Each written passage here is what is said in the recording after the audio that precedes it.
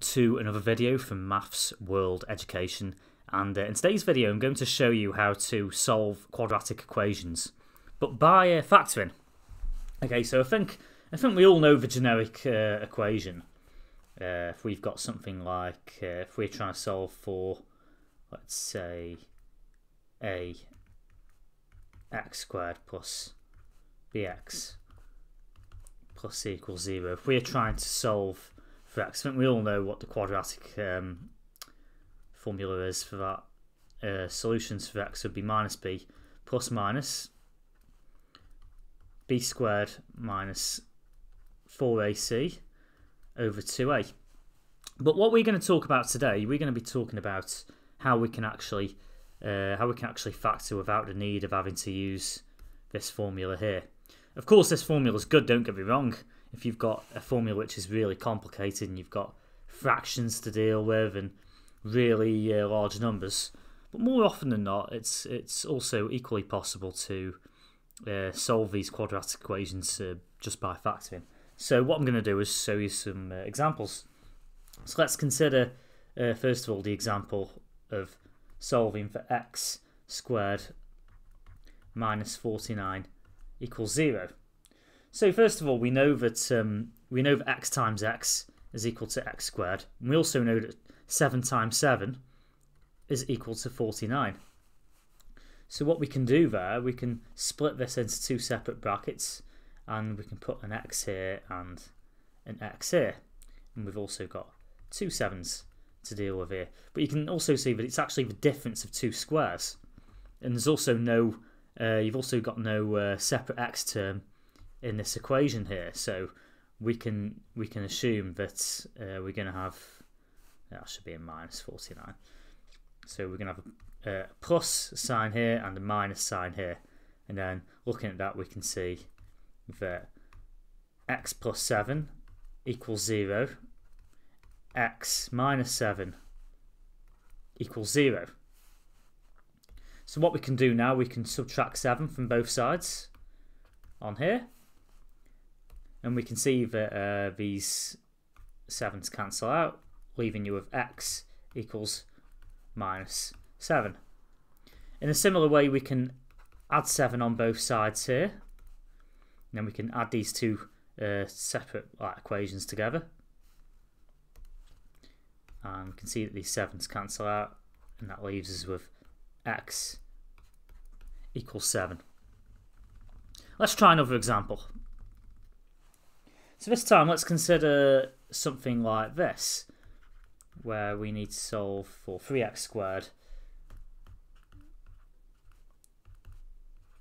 minus 75 equals 0.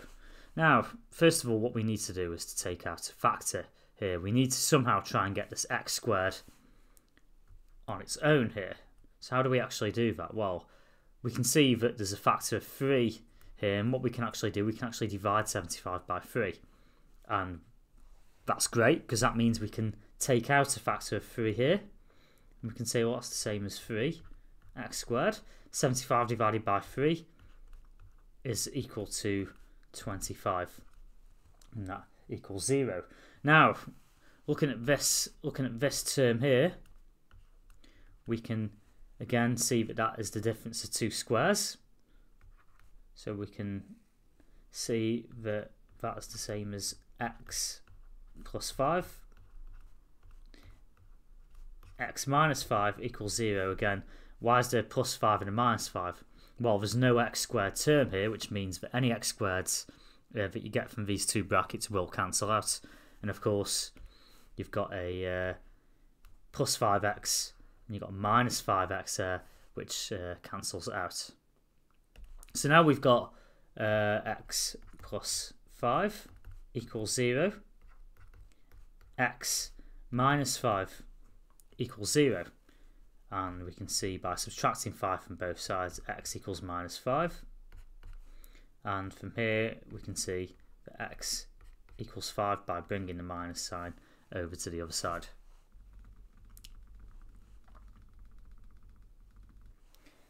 Let's do uh, another example. And this time, let's uh, go over this question here. Let's find uh, solutions for x such that 9x squared minus 64 is equal to 0. So again, this time we can see that um, we've got factors here. We know that 3x times 3x is going to be equal to 9x squared. And we can also see here that 8 times minus 8 is going to be equal to minus 64. So what we can do, we can use that information here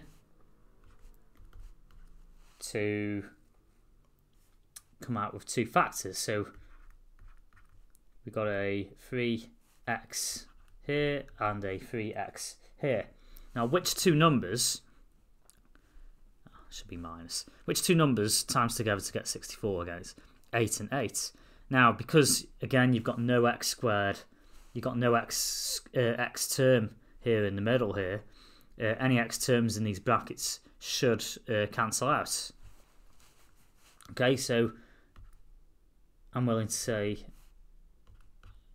by putting a minus 8 and an 8 there, that looks pretty promising, doesn't it? So let's just quickly check that over. 3x times 3x is equal to 9x squared. Minus 8 times 8 is minus 64.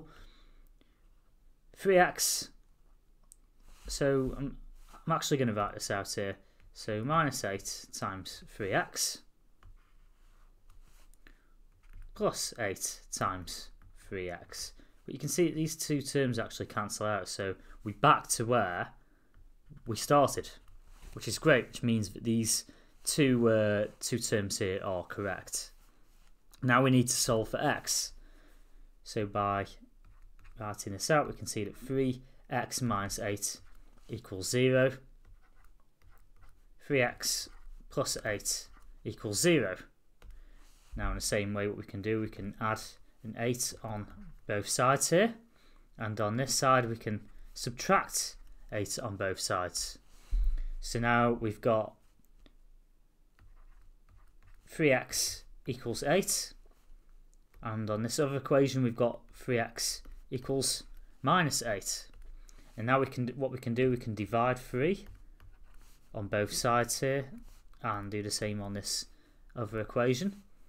So you can see now 3's cancel out and that leaves us with x equals 8 over 3. Again we can see these 3's cancel out here. Uh, so that can be rewritten x equals minus 8 over 3. This time, let's do an example of, uh, of, a, of a quadratic equation, but this time with an x squared, with an x term.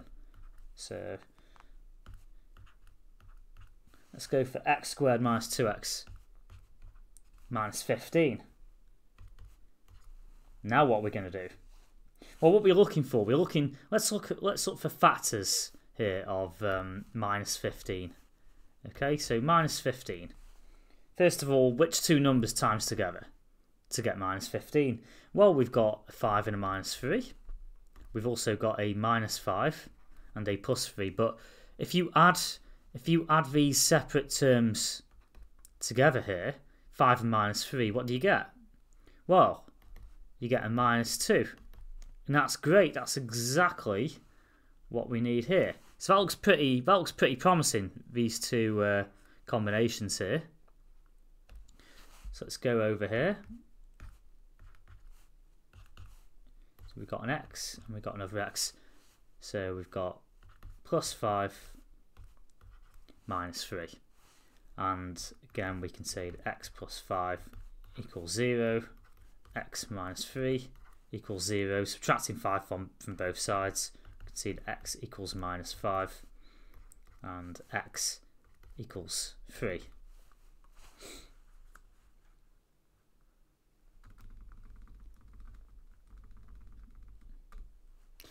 We'll go with another example. Uh, this time let's look at solving for x for x squared plus 3x minus 8 equals 0. Again, guys, uh, be sure to pause the video and have a go at these problems. Uh, okay, if um, if you're not sure, you don't have to pause it. You can see how I'm doing, at least for one example, and then try pausing on the next example. Okay, guys, so what can we see here? Again, we've got a factor of minus 28. Uh, sorry, we've got a number of minus 28, but we need factors that make up that value. So what do we got? First of all, we've got 1 and minus 28. We've also got 2 and minus 14. Uh, the number 3 does not go into 28, but the number 4 does, uh, which we can see minus 7 here. Now, um, if we try, the trick is, right, you want to you want to add these two numbers up here. This is the technique, by the way. You want to add these two numbers up here, and you can see that's equal to minus 27. Um, so that's not going to work. And you want to make sure that this number here matches with whatever your x term is, if that makes sense. So again, 2 minus 14, you can see uh, that's not going to work because you've got a minus 12 there, so that doesn't work. 4 and minus 7, again, uh, is equal to minus 3. That doesn't work, but you can see that the number is the same here. Uh, we're looking for a plus we're looking for a plus 3 here, aren't we? So, minus 4 and 7 looks pretty promising. If we add those together, we've got a 3. So, that's brilliant. So we can use these two values here to put into the brackets. So let's do that now. So we've got an x, another x, and x minus 4, x plus 7. Minus 4 times 7 is equal to minus 28, so that's good. And minus, minus 4x, minus 4x plus 7x is equal to 3x. So again, we're good on that term there. x times x, which is self-explanatory, is equal to x squared. So now we can see that x minus 4 equals 0, x plus 7 equals 0.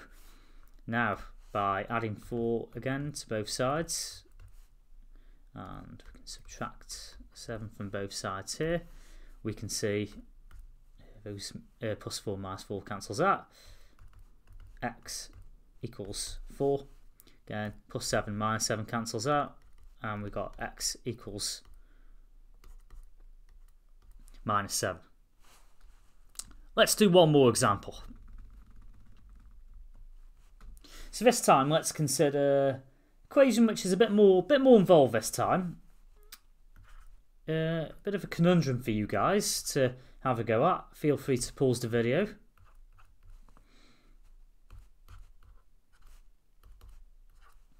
Eight x squared plus two x minus fifteen. Now, bearing in mind the techniques uh, which we have uh, used, uh, what can we what can we do with that? Okay, so first of all, first of all, what do we know so far? We know that eight times fifteen. So you take this value here, this value here. You know that eight times minus fifteen is equal to minus one hundred and twenty. Now the trick is what we what we want to do. We want to use the same technique as we did before. We're looking for factors of minus 120. So first we've got 1 minus 120. Uh, and let's just keep going down the list. We got let's go for 2 minus 60. 3 minus 40. 4 minus 30.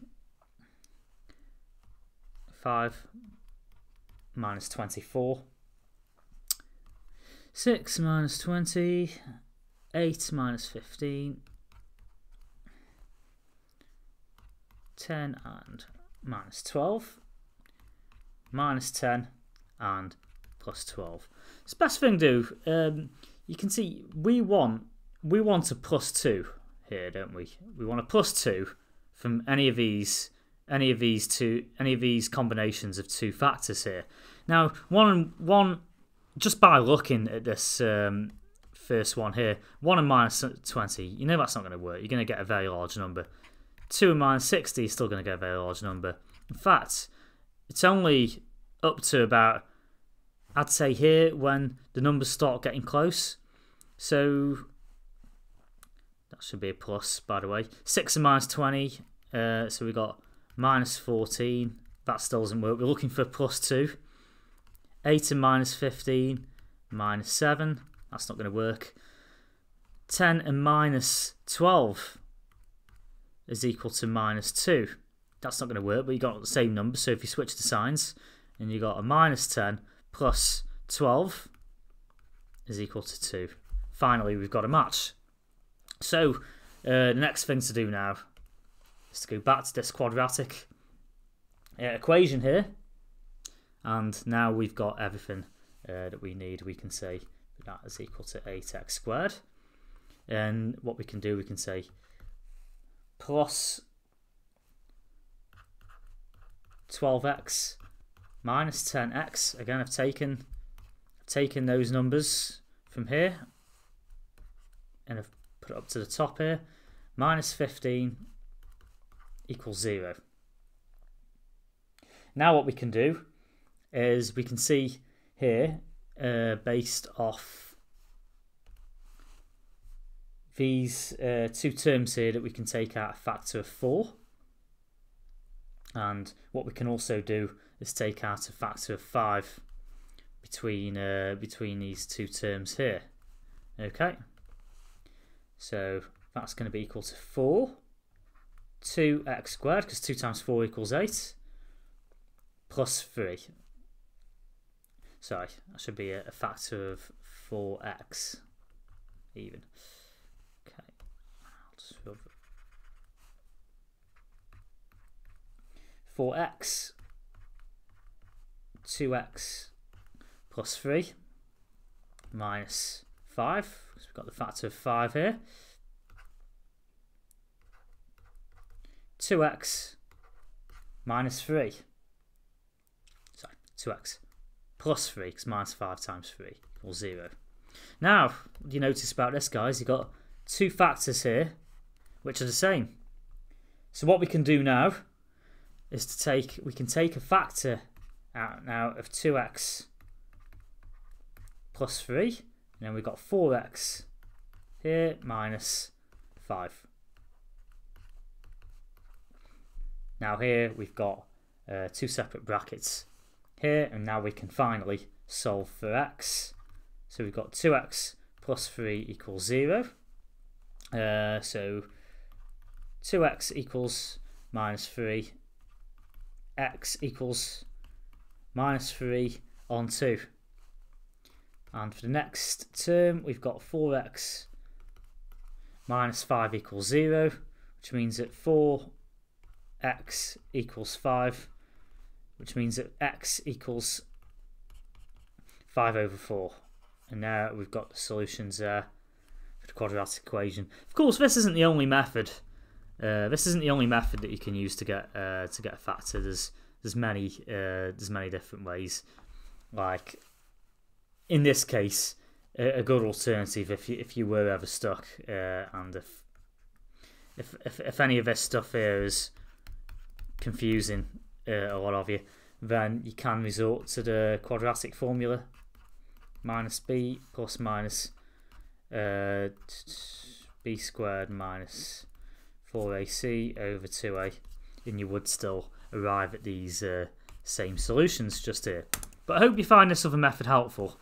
Anyway, um, if you like this video, smash that like button, subscribe, and tap that notification bell. We'll be coming out with more materials in the next few days, few weeks, few months.